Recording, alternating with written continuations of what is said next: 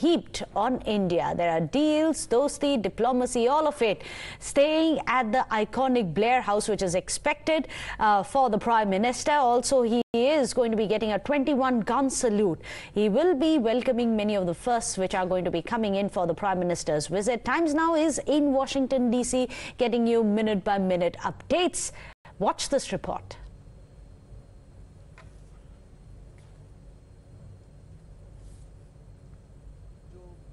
I am in Washington, D.C., and right behind me is the Blair House.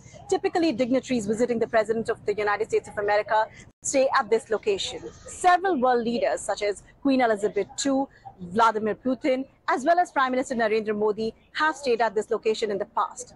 During his upcoming visit to the United States of America, it is not yet confirmed where Prime Minister Modi will stay, but this location is likely to be an epicenter of activity.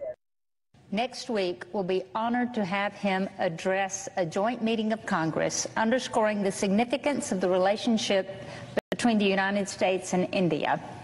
The bond between India and the United States is not just an alliance, it is a st strategic and global partnership.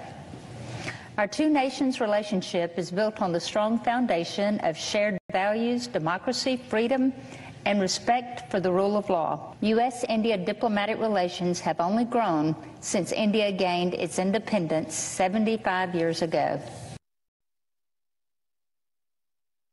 And I want to welcome Prime Minister Modi to Washington, D.C., and thank him for his visit to our country.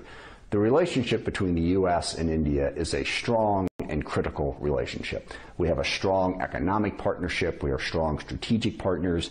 India is the world's largest democracy and a crucial part of the world, and we are working together on many important issues, not the least of which is climate change and building towards a clean energy future. We are also really excited because of the large Indian American population that we have in the U.S. and in the Ninth District the Indian diaspora is a crucial part of our country. So I look forward to strengthening the relationship between the U.S. and India. Well, if you want to know what's happening in the U.S. as the Prime Minister is all